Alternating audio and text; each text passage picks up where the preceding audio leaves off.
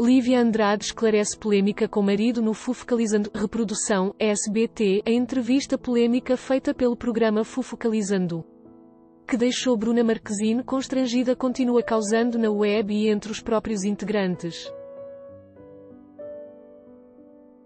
Após Léo Dias se pronunciar nas redes sociais, foi a vez de Lívia Andrade. Segundo ela, caiu de paraquedas na história porque estava de férias. Andrade, que estava fora de férias do Fufocalizando, afirmou que não concordou com a atitude da repórter. Não respondo pelo Fufocalizando nem por ela, apenas por mim, finalizou. Segundo ela, a repórter desativou as redes sociais. Aos seus seguidores, a escudeira de Silvio Santos disse que nem apoia nem concorda com o que ela fez. Ainda em suas redes sociais, Lívia Andrade deu um chega para lá nos seguidores.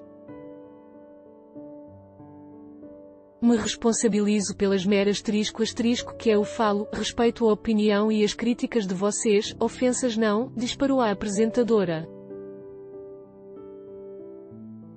Para finalizar, parabenizou a atitude de Bruna Marquezine por ela mesmo estar indo resolver as tretas dela sem assessoria respondendo no lugar.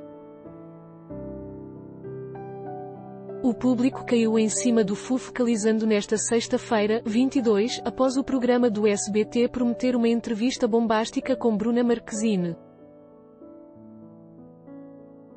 Em um dos trechos exibidos, a repórter pergunta se a atriz prefere a Anitta com Neymar, ex-namorado, ou com o surfista Gabriel Medina.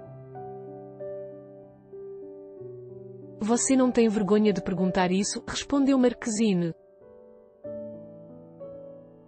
O trecho foi o suficiente para o público detonar toda a equipe do FU focalizando. Após toda a polêmica, Léo Dias pediu que a atração não exibisse a entrevista.